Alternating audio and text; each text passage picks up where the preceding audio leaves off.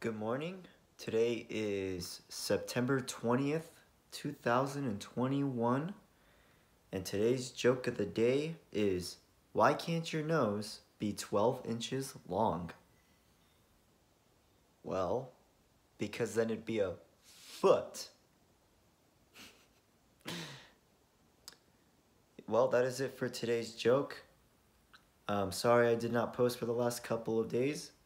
I had a busy schedule. But thank you for watching this video.